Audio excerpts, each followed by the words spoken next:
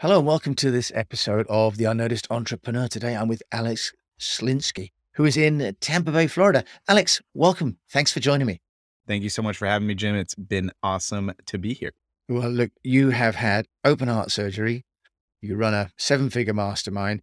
You're an expert at helping entrepreneurs to get noticed, and you do so with some really interesting and unique ways. So I'm really excited to hear from you today, Alex. Tell us, how do you help entrepreneurs to get noticed and why? Yeah, I love that question. I love the idea of this entire podcast. There's such a sea of entrepreneurs and marketers out there that feel like they're just getting uh, slammed over by everyone else because they're just getting lost consistently. And how do I step out of it? How do I become more unique and more original? One of the things we were talking about prior to this recording was the idea of stepping into your own greatness by not trying to copy other people, but by being unique. One of the main elements of what we do in prospecting on demand, the mastermind, is come up with an IP, right? So anytime I do a speaking engagement at an event, normally what my IP is called the one call close. We call it the $1 million one call close method.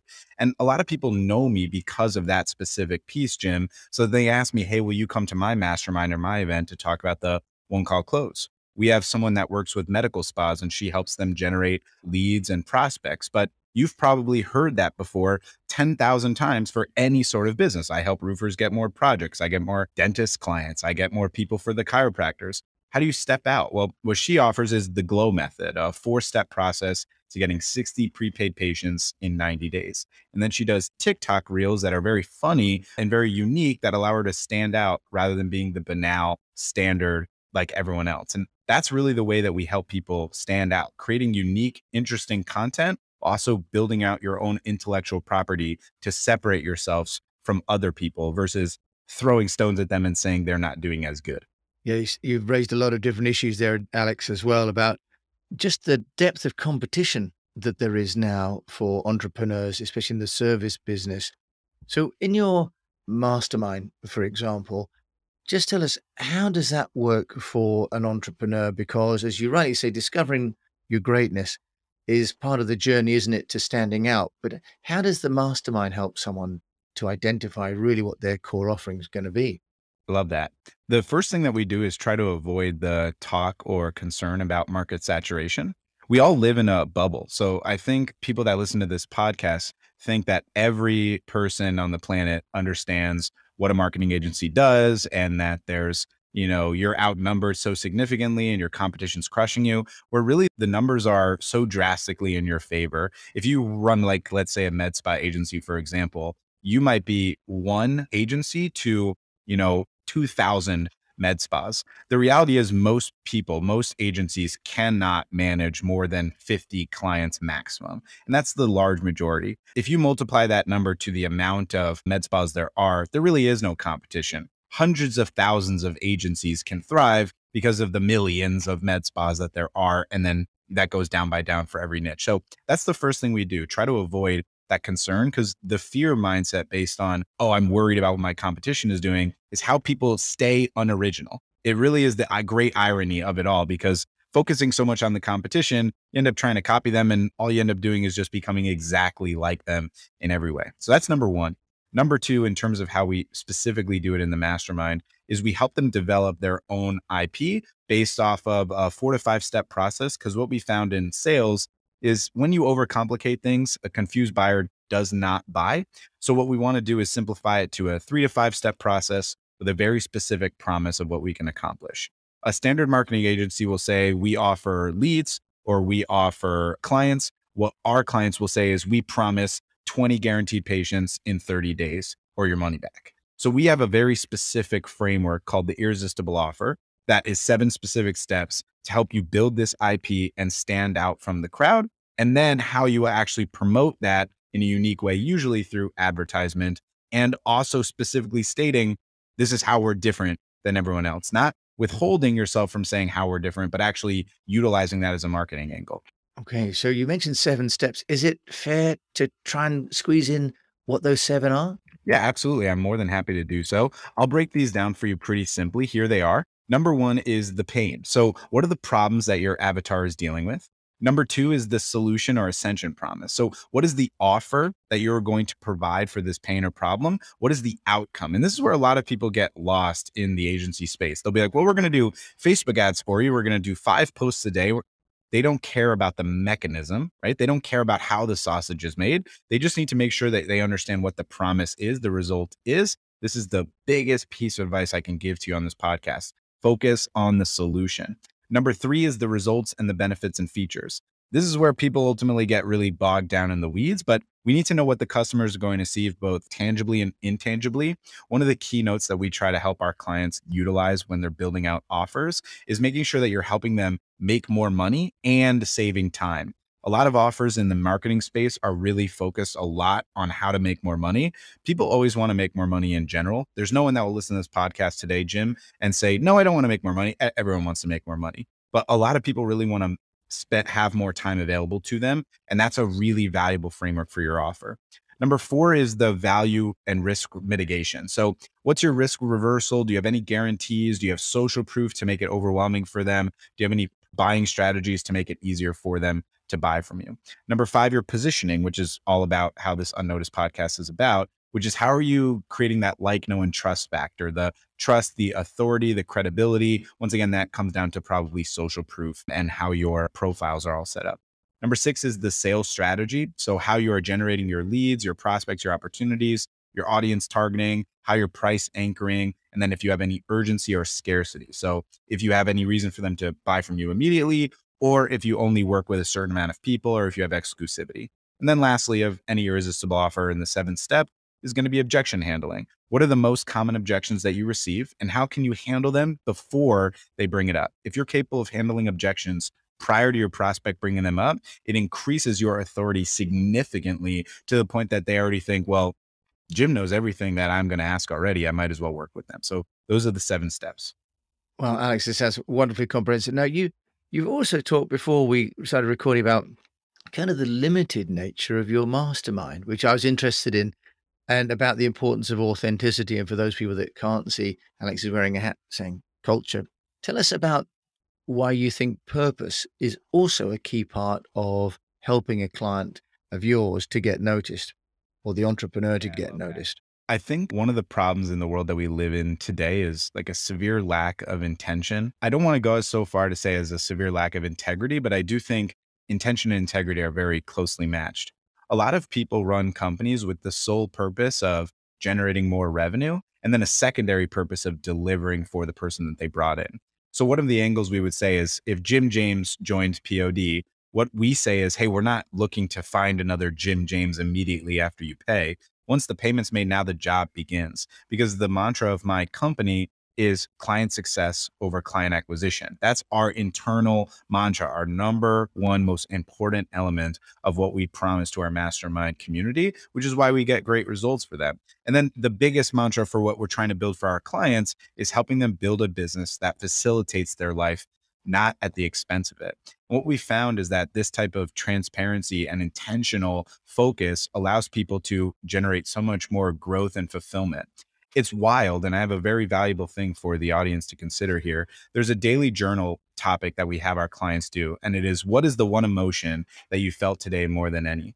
And a lot of entrepreneurs are very fearful of this journal because a lot of the times it's anxiety, stress, or frustration. Those are like three of the most common words. When you multiply that out over 365 days and realize more than 300 days are that, it's pretty crazy because the idea of entrepreneurship is choice, right? We have the choice to do what we want. And it's crazy that you would choose to feel frustrated, anxious, or upset about it. So that's why intention is so important to us. When I said earlier that everyone wants to make more money, the reality is it's like running on a treadmill, right? You run a lot, but you don't get anywhere. And this is why burnout is so common. And that's why we have a boutique company. In order for us to back up what we say on client success over client acquisition, we can't just magically bring on 30 people a month and then still deliver the same quality of service. There is just diminishing returns. People will ask me, well, then, Alex, why do you run this company? Because I have intention of what I want. I want to build a community and a culture of people that I love and consider family and that I want to help and that have personal relationship with us and make a huge impact on their lives and my life. And I can't do that with 100 people or 150 people. I can do it with 55 or 60 people. And I'm okay with that because of the intention that I've chosen. And that's really important to me. Yeah. So eh, what's also really interesting, Alex, is listening to you. I know that you had a medical issue that gave you a sense of purpose. Do you want to talk about how that medical issue sort of focused for you? Because I think you're absolutely right. Most entrepreneurs start a business and think it's got to be about scale. But what you're really talking about there is about control, aren't you, as well? Yeah. And focus on what's really important to you. Do you want to share with us just, you know, how you translated some of the things that happened to you into also the way that you're able to share that story to magnify your own story to help others? Yeah, absolutely. And I have two of those stories kind of back to back that are pretty interesting. One, how I started my business, and then one, how my personal health crisis only made me really understand my mission even more clearly. When I was 15 years old, a freshman in high school, my dad was a financial advisor from his own doing. He had created his own business by himself over the last year and a half. Prior to that, he was a funeral director. Um, and it was very challenging for him because obviously lots of people pass away that shouldn't pass away, unfortunately. And I'm the youngest of three sons, and he, he couldn't handle that anymore. So he created this financial planning business. He did amazingly well for himself life had changed for the better. And then unfortunately, he had a, a, massive stroke when I was 15 years old. Thank God he's alive and well today. So no terrible end to the story.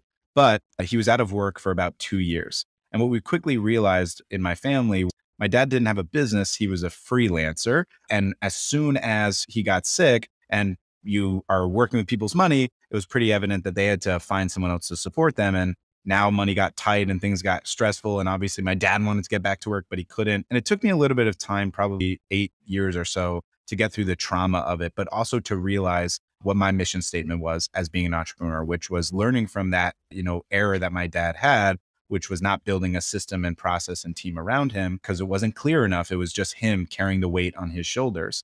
And I wanted to avoid that. So I had the opportunity to be featured in the Entrepreneur magazine and I wrote about how my dad's uh, health crisis created clarity for me on how I can help people avoid that. Because a lot of people I ended up working with had their own children and so much greater stakes, but they're moving in their business without realizing, hey, like there's no one to run this business if God forbid something happens to you. And a lot of people want to avoid the mortality or morbidity talk, but it is very relevant and it just is. And especially from someone that is 29 or 30 years old telling you. And then I had my own experience when I was 28 years old, I was told that I had to have open heart surgery, which I did when I was 29. I had to wait 10 months, Jim, from the time that I was told till the surgery because of COVID. So I had to wait, which was terrible. The waiting was definitely the worst part. I can confidently say zero out of five stars. I do not recommend heart surgery, but it did create such strong purpose for me after the surgery. Even more so, realizing that now my individual story is going to impact people so much. When I was going through the experience, my mom would say, you know, Alex, this is going to be part of your story. It's going to help you impact more people. Because when a 60 or 70 or 80 year old tells you to care more about your time and be more cognizant with your life, the younger generation kind of poo poos, ah, whatever, he's old. When a 30 year old who has a five month old son at that time, or now he's 15 months old, tells you, hey, I almost died when I shouldn't have, and I almost lost everything. And I worked very hard for 10 years without purpose to create something that I would have never had the fruits of my labor. Maybe you should focus a little bit more on fulfillment and enjoying it rather than the never ending hustle culture and cycle of let's work harder. So that's how I ended up creating so much more clear mission statement for the people I work with. So one of the main elements that we actually track, Jim, in our mastermind is numbers of days off per month. That is a really important metric that we track, not just profit or revenue or sales calls, how many days you took off, things that you were fulfilled with, and how many days did you write in the journal fulfilled or happy or tranquil. And that's what we're looking for in our community. You know, Alex, that's all really resonates for me. And this isn't about me and my health challenges, but I think, you know, as we get older, we find more and more of our peers start to not be around or enjoy good health. But Alex, this is also show obviously about getting noticed. And as an entrepreneur, you're helping within your mastermind, but share with us how you're using speaking and going to other events to get you and the brand of your company noticed as well. Yeah, absolutely. So when we talk about fulfillment and intention, the thing that fulfills me the most by far is speaking on stage. There's something about doing podcasts that are very fun, but it's a one to one format. And then there's audience that you don't know that's anonymous that's listening after the fact. But being in person and seeing someone's eyes light up or watching their attention, which is the most valuable asset we have, time and attention, watching them be solely focused on you when obviously attention is the hardest thing to get right now because of so much stimuli available to you. We have a computer in our pocket at all times with literally infinite amount of material that you can watch. So the idea of capturing and keeping attention, not just to be noticed, but to continually be noticed is so important to me. And the way that I do it is I work with different companies that help me get positioned on podcasts like this and also stage speaking. Because anytime that you do any opportunity where you put yourself out there, what ends up happening is you don't know who the anonymous listener is that finds it interesting, that emails you back, that says, Hey, I want you on this podcast. I want you coming to this event. In the next month, I'm speaking at four separate events my event in Chicago, then Columbia University, the Ivy League College in New York City. Later this month, digital marketer event in Austin, Texas, and then Boise, Idaho, speaking at an event uh, for copywriters. All of these have come from either initial outreach or them seeing me at other events, podcasts, or group speaking. If you can get there yourself out there and avoid being afraid of what happens if I say something stupid or bad, it gets lost into the ether. No one remembers. There's so much information out there. It's totally okay. But if you can capture just insight from one person and value to one person, that one person might have a connection that changes your entire life. So I'm a big believer of that. Yeah. And you were talking about the different kind of topics you're talking about as well. So do you want to share with us? You've got your authentic story, but actually it doesn't sound as though you're talking that much about prospecting on demand, for example, to Columbia University graduate yeah. students, are you? So share with us how you feel like sharing the message as, a, as an entrepreneur and then how that's impacting the business. Yeah, I love that. What I've found is a lot of people try to pigeonhole themselves into the content that they can provide, but then it puts you into a position of saying you're either a master of all or a master of none and a jack of all trades, right? Like either one of those. I think there's a balance that you can find for the majority of speaking that I do at events for entrepreneurship, I do the one call close training, which is my sales positioning that I talked about earlier in the podcast. But it doesn't mean that there's other things I can't talk about. People want to know that I work with the Miami Dolphins or that I was a UFC media member or that I didn't know I ran an agency for four years or that I had open heart surgery at 29 years old. People are intrigued by these stories because that's what the human condition is wanting to listen to someone that inspires you to do the next thing that you want. So i'm always open and available to speak on any topic outside of really like numbers. That's pretty much the only thing. I'm not a numbers guy so i try not to talk about anything related to numbers or cryptocurrency or anything like that. Mm. Someone asked me to come speak at their crypto conference. I was like i don't think i'm going to be able to do what you're looking for mm. but feeling comfortable to step out of your comfort zone like i love talking in general. So the idea of talking about different processes and different things to different people is valuable. Who knows who's going to be in the audience in Columbia? Who knows what the next speaking opportunity holds? I believe greatly in the idea of when opportunity comes knocking, you bust down the door. So if I'm going to get a chance to speak at Columbia, I'm going to do it. That's really interesting that you've raised this issue of being diverse in what you talk about because there is this uh, sort of Absolutely. current of thinking that you become the subject matter expert on something very niche. And then uh, you're really just repeating kind of what you said last time. And with the internet, people have often seen or heard it before, haven't you? So you've got to innovate. Is there a, Absolutely. would you say there's a, an underlying theme across all those talks you're giving, Alex? Is there an underlining yeah. sort of unifying Alex Schlinsky brand message? Yeah, for sure. Intentionality and confidence. I'm a big believer of being really intentional with what you do in your life. Like we already spoke about with the idea of always making more money or always getting to the next thing or what's next. I love the idea of serenity and tranquility, especially after, you know, my surgery, but before I had my surgery, I was a person of great anxiety and stress and even today in some ways I still am.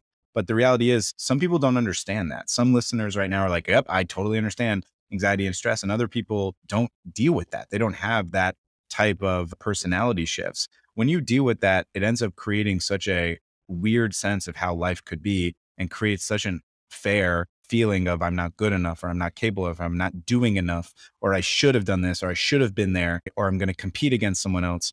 Life is so precious. The time that we have is so incredibly valuable to us that we really need to take the time to consider what we really want from it. Defining our win is so key to me. So I'm a big believer of actions over outcomes intentionality, and confidence. Those are my main themes that I bring up no matter what I talk about, whether it's prospecting, sales, entrepreneurship, getting noticed. or talking about, you know, my heart surgery. Thanks, And they're, and they're wonderfully positive messages. And love your earlier point about there are so many clients out there. The agency should not worry so much about finding clients, but about finding out who they are. And as you say, being intentional yeah. and showing up as themselves. And that's that's okay and that's great and that in it essentially will be great there is one one thing you'd mentioned that you do as an agency i just wanted you to touch on you talked about the video that you guys do let's just share about that can you as yeah, a bit of a light-hearted moment at the end. I think it's great to talk about this. So my business partner Brian and I were trying to consider, you know, what could make us different in the space because just like you, even though we're great at coaching, it doesn't mean that we don't feel these feelings as well, right? We're human beings just like you. Like, oh, it's a saturated market. How do we stand out from the crowd? Even though we're not trying to bring on a lot of people, we still have some seats available. How do we like manage that? how do we separate ourselves? And one thing we thought that would be really fun as we were in St. Martin drinking shots together, frankly, was what if we took shots on Facebook Live and tried to book sales appointments for our clients? Do you think people would like that? So in 2018, we did our first ever cold call shot line where we compiled leads from our clients and acted as if we were their appointment setters, called the leads on their behalf, and basically on Facebook Live tried to book the sales appointment. If we could, we wouldn't have to take a shot. If we could not, we would take a shot. And the great irony of this unique content is one, it's definitely attention grabbing because people want to see other people get drunk online. That's the truth. Two, it's very authentic to us to not be afraid of just showing who we are. And then three, the great irony of it really is they don't know which which result they want. They do mm-hmm. want the sales appointment, but they also really want us to take the shot. So it's very funny that we ended up actually iterating on this in two different ways. We have three shows total now. The other one is the Hot Wing Hotline, Where we buy the hottest hot wings available from Buffalo Wild Wings, which the American listeners should know what that is. I really recommend don't doing that. It's terrible. It's definitely worse than the cold call shot line. It's a horrible experience, but we do that and people love it. And then we have another one where we do the wheel of misfortune, which is just a wheel that tells you to like do a silly accent or say a silly word. So I've booked sales calls with my fake, really bad British accent, and Brian has done it with a fake, very bad Texas accent or saying belly button or some random thing. So things that are enjoyable to us that we look forward to doing that's very unique, but also showcases the coaching that we're doing. And if you can find something like that for your business, it will really help you stand out and also enjoy it ultimately. Alex Schlinsky joining me from Tampa Bay, Florida. I've enjoyed. I love the anecdote at the end, and I love those uh, ideas. And I guess at some stage you do hot wings with a shot and with an English accent, and then you've got all three at once. Alex, thanks for joining me on the Unnoticed Entrepreneur today and sharing, you know, amazing wisdom and insight and practical benefit for people that are listening today. For my listeners, thank you so much. Thank you so much for having me. You've been listening to Alex Schlinsky over there in Tampa Bay. And of course, as always, I'll put all of his details in the show notes from Prospecting on Demand. Thank you for listening to this episode of The Unnoticed Entrepreneur with me, Jim James.